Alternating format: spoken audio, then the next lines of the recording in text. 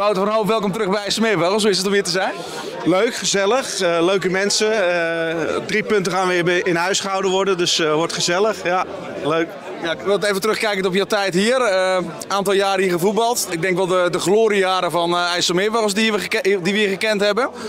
Als je dan terugkijkt, wat denk je dan, wat denk je dan specifiek aan? Ja, dan denk ik succesvol in het voetbal. En uh, thuissituatie was iets minder. Ik heb toevallig donderdag een lunchlezing op mijn werk gehouden na zoveel jaar. Ik ben natuurlijk eh, even van de kaart geweest, uh, manisch ontremd. En, dus dan heb ik heel veel succes behaald. Maar eigenlijk was het ook mijn rotterse privé situatie. En daar heb ik nu gevoel voor gekregen. Ik heb alles op de rit, dus het gaat supergoed met mij.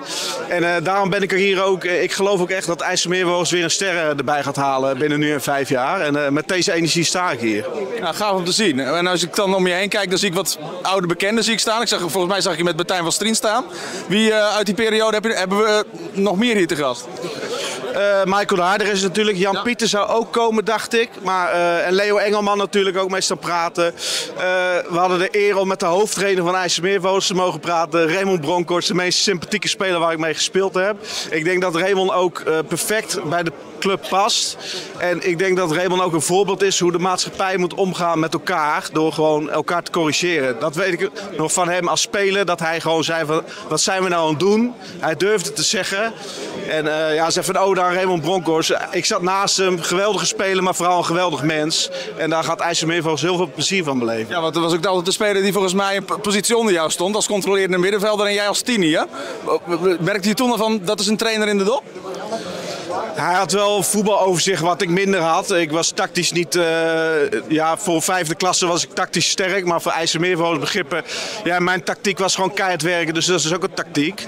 Maar inderdaad, het tactisch vermogen wat Raymond met zich meebracht. Uh, hoe je moest voetballen, hoe door te spelen. Ja, dat had hij wel in zich, ja. Ja, want uh, overkijken, terugkijkend op jouw carrière. Je kwam er natuurlijk toen over van GVV destijds. He, natuurlijk een, een, een, goed verleden bij SVF Koten. Waar jou, ja, toch wel jouw roots liggen. Um, toen een aantal jaar hier gevoetbald. Volgens mij vier als ik het goed uit mijn hoofd heb. En toen weer teruggegaan naar, uh, naar GVV. Hoe, um, ja, hoe kijk je terug op die tijd? Uh, met, welke, met welke spelers uh, en met welke tactiek, wat, wat, wat zie je dan allemaal om je heen? En hoe is dat ten opzichte van toen veranderd met nu? Nou, ik hoorde van Raymond wel dat tegenwoordig met camerabeelden echt fanatiek gewerkt wordt. Dat, is niet helemaal mijn ding, maar het schijnt wel echt te werken. Dus daar geloof ik inmiddels ook in. Uh, nee, vroeger was het echt... Uh, ja, ik weet niet hoe het nu precies gaat. Maar uh, uiteindelijk gaat het, is sfeer, sfeerkracht noem ik het ook altijd. Je hebt veerkracht, maar ook sfeerkracht.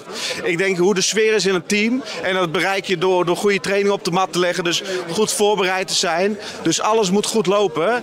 En dat, dat heb je door een goede trainer te hebben. En, en leuke jongens bij elkaar te zetten en elkaar de waarheid durven te zeggen. Ik denk dat daar eh, heel veel kampioenschappen mee gewonnen zijn. Nou, gaan we te horen. En nu vanmiddag ABC thuis. Had je er ooit van gehoord voordat je hier naartoe kwam van rijden vanmiddag? Ja, Heemstede toch? Ja. Ja, dat hoorde ik ook net hoor. Maar uh, nee, niet, niets van gehoord. Uh, zeker niet. Nee. Maar volgens mij was je positief. Je zei van we gaan gewoon naar de drie punten toe en we gaan een mooi wedstrijd tegemoet als ik het zo hoorde. Het zonnetje schijnt en ja, gezien het spelersmateriaal en de, en de trainer, daar ga ik geen complimenten meer over geven nu. Maar nee, vertrouwen in dat de drie punten hier blijven. Ja. Gaaf, heel, heel bedankt en uh, heel veel plezier vanmiddag. Ja, dankjewel. Jullie ook.